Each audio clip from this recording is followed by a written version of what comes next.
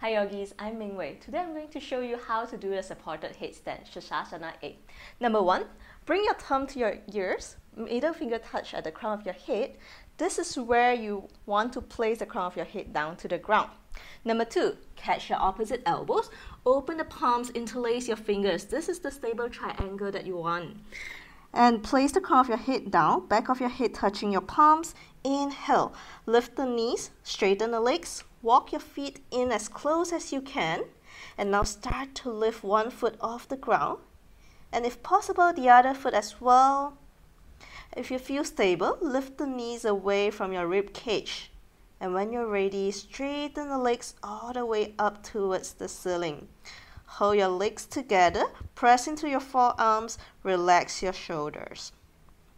To come down from this pose, bend the knees back into your chest and gently place the toes to the ground. Knees to the ground and relax in your child's pose.